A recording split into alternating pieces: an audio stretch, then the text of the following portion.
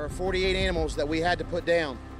Those animals included one wolf, six black bears, two grizzly bears, nine male lions, eight lionesses, one baboon, three mountain lions, and 18 tigers. I remember it all happening on a Wednesday evening at about 10 till 7 uh, is when I received the first phone call. We became international news by the next morning. It was just a disaster waiting to happen. Zanesville is a sleepy town in Muskingum County, Ohio, with a population of just over 25,000 people. Until 2011, Zanesville was best known for its Y Bridge and many beautiful parks. It's one of the last places in the world you would expect to find an exotic pet owner with so many animals. But on one fateful day, the worst example of exotic pet ownership brought Zanesville to the attention of the world. Zanesville is a very small, agricultural, very family-oriented community. Everybody knows everybody, and everybody knows what everybody's doing. It's a small town.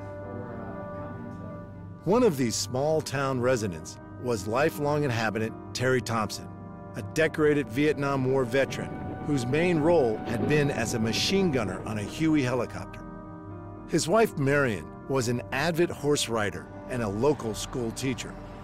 Many locals knew the Thompsons kept exotic animals, but Terry was better known as the man who flew a light plane under the Y Bridge.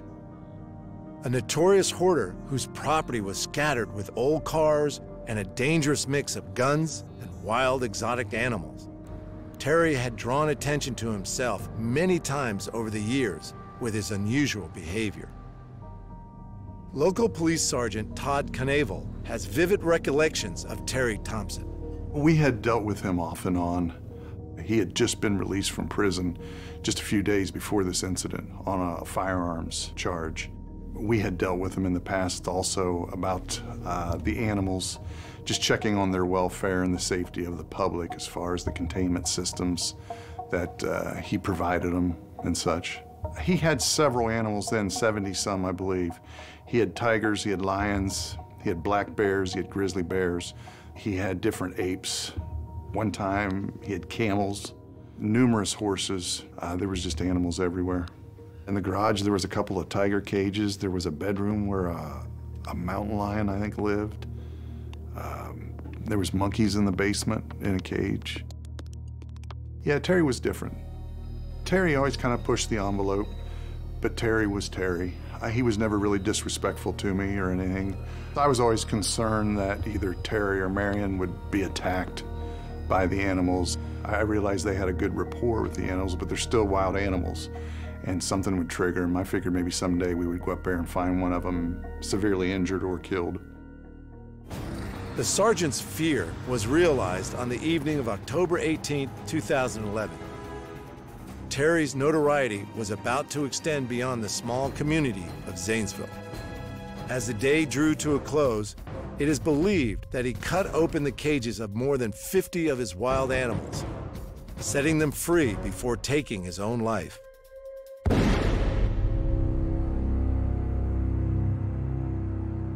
Senator Troy Balderson was born and bred in Zanesville and had been a member of the Ohio House of Representatives since 2009. This incident was a trigger for him to amend the legislation surrounding exotic pet ownership in Ohio. About a mile down the road that evening, there was a, a tournament soccer game going on. There could have been a lot of tragedy, and, and there wasn't. For the most part, no one was injured. That was one of the biggest accomplishments that I feel that we that came out of the situation. The next thing I saw was black figure. It turned out it was a bear. Sam Kopchak is a retired school teacher and lived next door to Terry. That evening, he was out in his own yard attending his own horse, Red, when he saw Terry's horses acting strangely. I saw the horses that were over there. There's probably about 60 horses I estimate that they had. They were going around a circle. And I said, well, they're not supposed to do that. Something's going on, you know. Then Sam saw something even more out of the ordinary. I actually got red up there by the corner. We walked down through here, and I just felt like something was looking at me. And I kind of turned to the left, and big male African lion, he came down. This is about the spot he was uh, sitting. He just sat down right there, just kind of, you know, like that. And uh, I just kept on going, and I never looked back till I got down to the white fence with my barn. And then after I was down by my barn, he was pacing back and forth on the fence. As you can see, this is like a seven strand, ball, not a barbed wire, just a smooth wire. And if he wanted to leap over that, he was big enough that he could leap over that fence. What Sam soon realized was that the lion was just the beginning of what was about to unfold. So I actually saw like six animals. The original bear, and then the uh, lion, the male lion, and the, and the female lion, and the, another bear, and uh, the wolf went by, and the tigers. Sheriff's office. Yeah, I think I just seen one. It looked like a jaguar or a wolf or something. I received a call that uh, some of the animals were out. We weren't sure to the extent of, of the situation, but I was requested to come to the scene. When we arrived, uh, we were advised by one of the patrol sergeants that he had been up in the, the compound area uh, looking for Terry or Marian and had uh, seen a body laying out in a field. That was our first priority, determine who it was and if they were injured or deceased. We were first approached by, uh, I believe it was two tigers, come out of a barn towards us. And as they rushed the truck, we were forced to dispatch them. Then we arrived in the area of where the body was, and it was quite apparent whoever it was was deceased. There was a white uh, tiger chewing on him. About that time, we were advised that there was two cats ready to exit the compound area on the south side of the property. So we had to go over there and dispatch those animals. I didn't know how many were out, but once we got up there, I had made contact with the sheriff that appeared that everything had been turned loose. And I mean, there was bears, there was tigers, there's lions running everywhere. It was a huge concern because it was later in the evening, you know, if it got dark, the only thing securing that property is just a regular barbed wire fence like you would have for cattle or whatever. You know, these animals would have easily cleared that, and in a short time they'd have been in populated areas and injuring, you know, humans. There was some that had escaped the perimeter, but we had set up officers along the perimeter to contain that. I discussed with the sheriff what our situation was. There was no other option except to dispatch the animals. We started engaging the animals at different distances. Some were shot 30 to 50, 70 yards away. But then it came to where we had to go to the barn areas and that because they were in there. And yeah, we had one lioness come at us. Uh, we ended up having to shoot her, and she was stopped probably three feet from us when she finally went down. Most of us had AR 15 shooting the 223 round. I was concerned that maybe there wasn't enough power, but after we engaged a few animals and saw that, you know, the, the rifle was doing its job, then I felt a little better that, you know, we, we could be safe. It was a coordinated effort to try to keep everything safe and, and contained. Sam became an unwitting bystander to a grisly scene.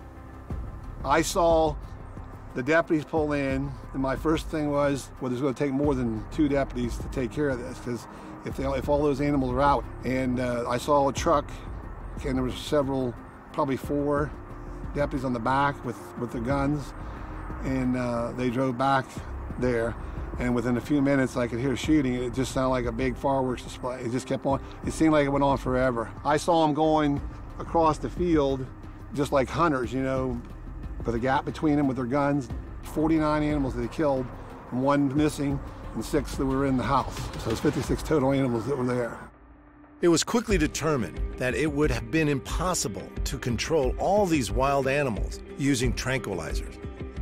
And the decision to use live ammunition undoubtedly saved human lives. To the best of my knowledge, there was one tiger left, and the veterinarian there, I think her name was Wolfe, she went over and got a perfect shot with a tranquilizer, hitting perfectly where she wanted to. I mean, she, I guess, made the determination how much to give him, you know, how big he was. And he was in the weeds and so forth, and he come immediately charging out of there. And if the deputies weren't there, he'd have probably got her. They had to shoot it. When it comes down to a situation like that, I realize there, uh, you know, the animals have rights, but humans have more. And you just, you, you couldn't justify uh, risking human life for, for the animals. They had to be somewhat scared. They were out of their containment systems, uh, running loose. You just didn't know how they were going to react. You could kind of surmise that he had let them go, but it wasn't until you know the investigation was completed later we were pretty much we, we knew that's what had happened. You know, even if you'd found them in some of their containment systems, he cut the fences so that you couldn't recontain them. I'm glad it turned out that no one got hurt. To have that many animals loose, we were just very lucky that we caught it when we did. You're not ready for something like that. Uh, we had to deal with what we had to do, and that's why I think they've come out with legislation on this kind of uh, practice. It's just, it's not feasible. Uh, safety for the public or for the animals. Immediately following the incident, Ohio ultimately banned the ownership of exotic animals and their transportation across state lines. We don't want to see these animals lose their lives over something like this. They are wild. I mean, the, these animals are not domesticated, they are wild animals. That's what I kept trying to focus on. That's what I did focus on when we did this legislation. They're wild. We knew something needed to be done. Um, the administration knew that something needed to be done, and we had to stand up and, and, and do the right thing for the state of Ohio. And that's what, you know, I had to make that decision also. Challenging as I knew it was going to be. I knew there was going to be a lot of negative feedback from taking on a piece of legislation like this. You know, before I started doing this legislation, I did travel the state of Ohio and going to sanctuaries that, you know, that's the challenging part. There were people that had sanctuaries that were doing it respectfully. You wanted to look at both sides of it, but you also had to take the responsibility to make the right judgment, to set the mind of we weren't going to do this. We weren't going to allow you to have wild animals without certain restrictions that you had to abide by. We had a facility at the Department of Ag that was built out there that took in the people that could not find places for their wild animals. They could take them to the Department of Ag.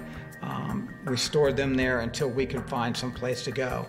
Um, there are good places out there with facilities that are, capable of, of, handling these animals, and um, you know, it's someplace for these owners can, that can take their animals that they can still have a relationship with. They can still go visit. They can still go feed. I think that was important to a lot of them. You know, it's still there and always will be there. You know, in your mind about it. I'm just so thankful that nobody got hurt, and it's terrible that he had to die. It's a very sad thing. All those animals are buried back there along the, the, the road where they buried them. I mean, they dug a big, put them all in there. You see, they laid them all. So that was the bad picture on the internet that made people irate because all those animals, when you saw that, that scene, and the, the sheriff was very upset, they don't know who took those pictures, and they put them out. But I mean, that, the, but they had to put them, lay them out so they would know they had them all. And, and the caretaker was the one, like I said, that was counting the heads and telling them, well, yeah, we do have them all or whatever with it. But that made it a terrible scene too, because you see the see all of them lying there, you know, like that. So it wasn't too nice to see. But they're beautiful animals, and you hate to see them get killed. But if you got a choice between the animals and people, you got to save the people, and that's what they did.